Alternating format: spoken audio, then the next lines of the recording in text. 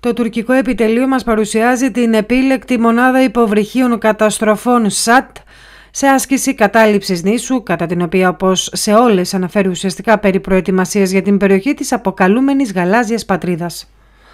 Πηγές παρουσιάζουν τους Τούρκους κομμάντος να εκτελούν βολές από ταχύπλο με πολυβόλο M134 ενώ η λεζάντα του τουρκικού Υπουργείου Άμυνας αναφέρει «δυνατός επαγγελματίας αποφασιστικός». Δεν υπάρχει επιστροφή χωρίς επιτυχία. Η επίλεκτη μονάδα μας, η Commandos Underwater Attack, SAT, καταστρέφουν με επιτυχία τους στόχους της εκπαιδεύσεις που πραγματοποιούν.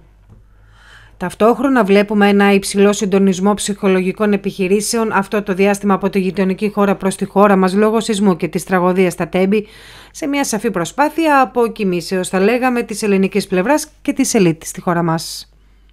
Η περίοδος ησυχίας ανάμεσα σε Ελλάδα και Τουρκία ευχόμαστε να διατηρηθεί, αλλά εκτιμάται ότι αυτό αποτελεί όνειρο θερινής νυχτός, αφού τα τουρκικά συμφέροντα όπως αυτά αποτυπώθηκαν σε όλες τις διμερείς συναντήσεις όχι μόνο δεν αλλάζουν ούτε χιλιοστό, αλλά θα επιχειρηθεί να επιβληθούν κάποια στιγμή λόγω του ελληνικού σχεδίου εξορίξεων νοτίως της Κρήτης.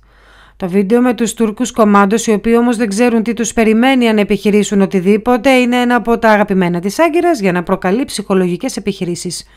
Επίσης, είναι γνωστό ότι όλη η εκπαίδευση των Τούρκων κομμάτων αφορά απόβαση και κατάληψη ελληνικών βραχονισίδων και μικρονήσων.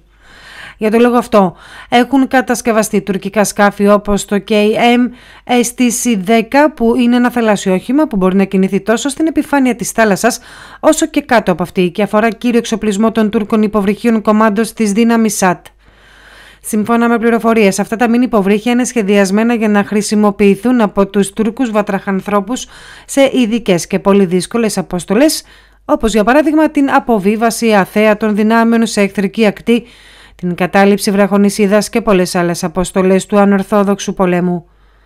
Εκτιμάται ότι σε μερικούς μήνες όμως οι γείτονες, ειδικά μετά τις εκλογές και την διαφαινόμενη επικράτηση του Ερντογάν, έτσι ή αλλιώς θα επιχειρήσουν πιθανόν να επιβάλλουν τα συμφέροντά τους. Αν και εφόσον γίνει αυτό, οφείλουμε ενωμένοι ως έθνος να το αντιμετωπίσουμε, αφού ως γνωστόν ο λύκος και αναγέρασε και άσπρισε το μαλλί του, μήτε τη γνώμη άλλαξε, μήτε την κεφαλή του. Ευχαριστούμε που μας παρακολουθήσατε. Για να λαμβάνετε πρώτοι όλες τις νεότερες εξελίξεις κάνετε like και εγγραφή στο κανάλι μας. Μην ξεχνάτε να μας κάνετε σχόλια με την άποψή σας.